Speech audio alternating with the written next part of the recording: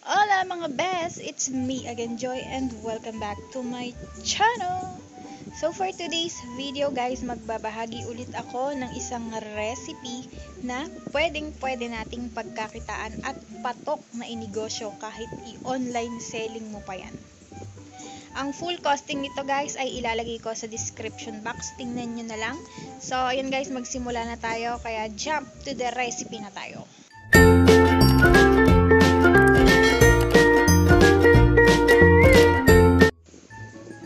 Para sa ating chiffon cake mga best, maganda kayo ng 1 and 1 4 cup ng all-purpose flour.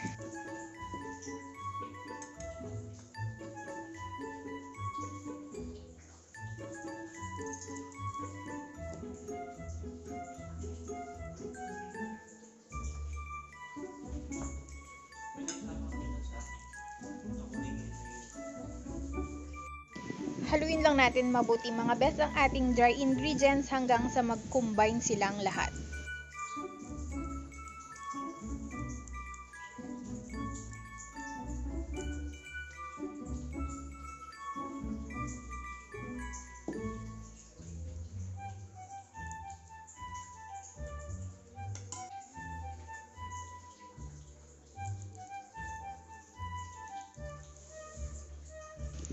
And ayan mga best, once na napagsama-sama na natin ang dry ingredients at wet ingredients, so i-mix lang natin silang mabuti hanggang wala na siyang buo-buo. And take note guys, huwag nyo siyang i-overmix dahil once na na-overmix ang inyong butter, tendency niyan guys is uh, magfa-flatten siya or babagsak ang ating chiffon cake. At huwag kalimutang patakhan ng vanilla essence.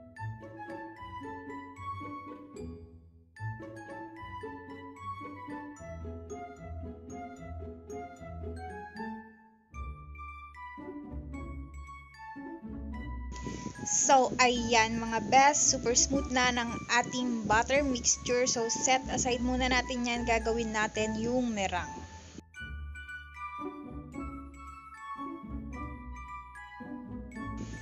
Para sa ating merang mga best, syempre kailangan din natin ng 4 pieces ng egg whites at 1 4 teaspoon ng cream of tartar.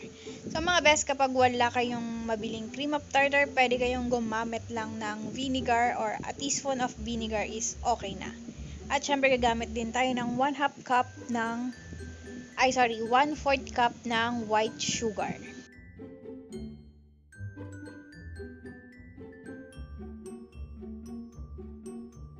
So, ang paglalagay ng asukal mga best is gradually lang or paunti-unti lang ang paglagay ng asukal.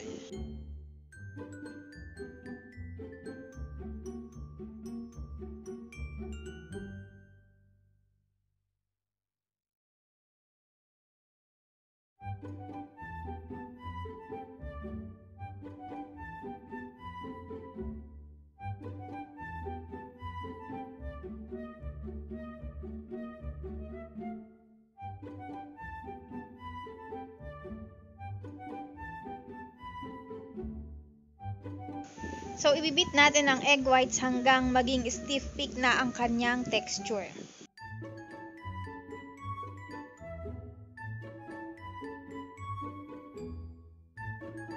At kagaya nito mga best. So, stiff peak na ang kanyang texture kaya pwede natin siyang ihalo dito sa ating butter mixture. Paunti-unti lang din guys ang paglalagay ng mirang dito sa ating butter mixture para mas mahalo natin siya ng mabuti. So, ang paghahalo nito guys is hindi lang bastang halo. So, kailangan pa-fold ang kanyang paghalo kagaya ng gagawin ko. And, wag na wag nyo siya guys i-overmix kagaya ng ating butter mixture. So, di baling ma-undermix siya guys kesa naman ma-overmix. Dahil, uh, babagsak ang ating chiffon cake kapag ka na-overmix.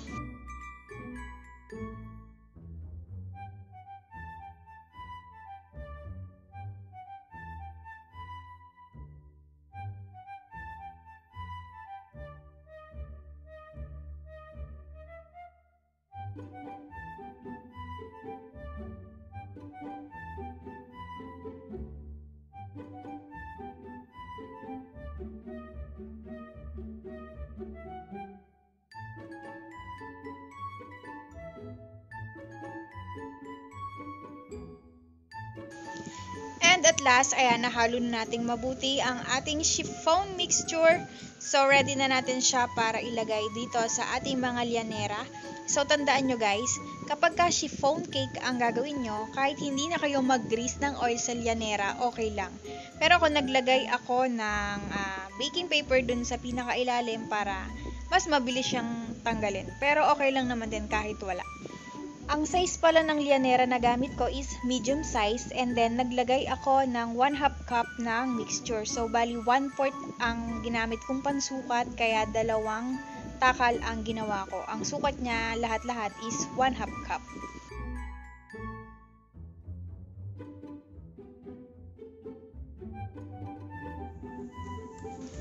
At ayan mga best, so nakagawa ako ng anim na lianera. So ready na natin siya for steam. Meron na akong nakahandang tubig doon na kumukulo. Ayan, so ilalagay lang natin siya dyan sa steamer and then steam natin siya for about 20 to 25 minutes in medium high heat. And bago nyo siya isalang guys, huwag nyo kalimutan lagyan ng aluminum foil sa ibabaw. Ayan, para hindi siya mapatakan ng tubig na manggagaling dun sa takip. And ayan mga best, after 25 minutes, luto na ang ating chiffon cake. So, palamigin muna natin siya bago natin lagyan ng frosting.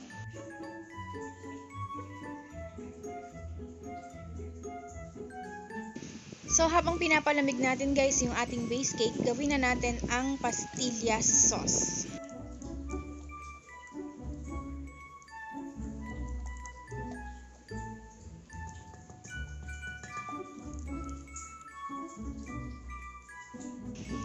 Ang gamit ko palang skim milk mga best ay yung milk boy, yung first class.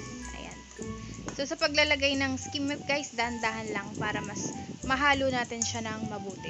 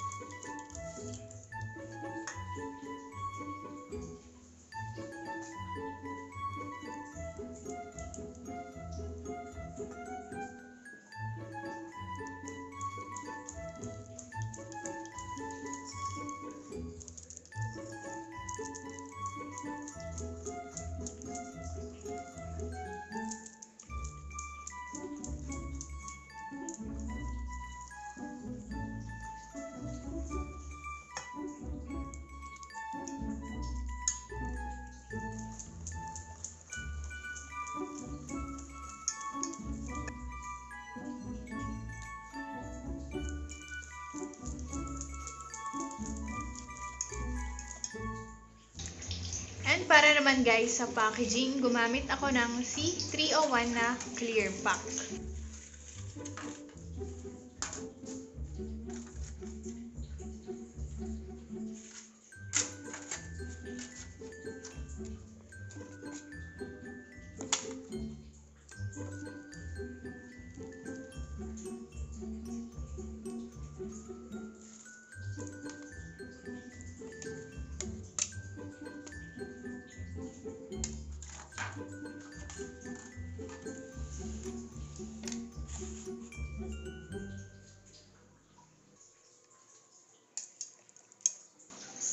Ayan guys, pwede na natin siyang lagyan ng pastillas sauce. Naglagay lang ako dyan ng 1 4 cup ng pastillas sauce.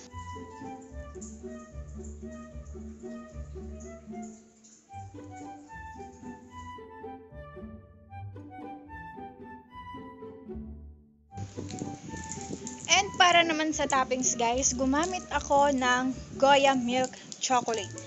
So sa toppings guys, kahit anong toppings nasa sa inyo yan, pwede kayong mag-toppings ng cheese or yung milk chocolate na yung maliliit. Yung mga milk chocolate chips, ayan, pwede yan. So bahala kayo kung anong toppings ang gusto nyo.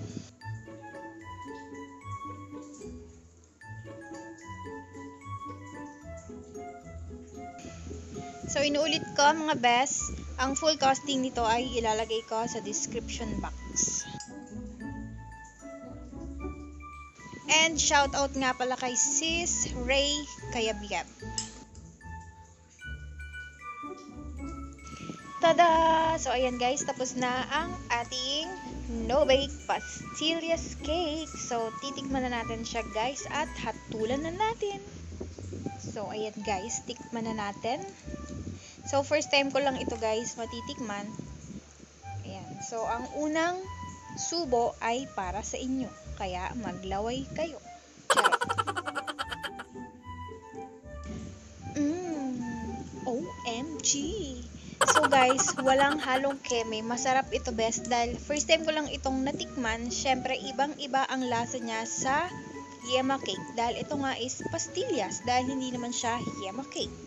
So ayan guys, super sarap nito. And for sure guys, uh, pagkakakitaan nyo to ng bongga dahil bago sa panlasa ng inyong mga suki. Kaya ano pang inaantay nyo mga best?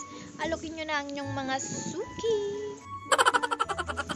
And that's it for this video mga best. So if you haven't subscribed yet to my YouTube channel, please subscribe, like, share this video, and turn on the notification bell for more updates.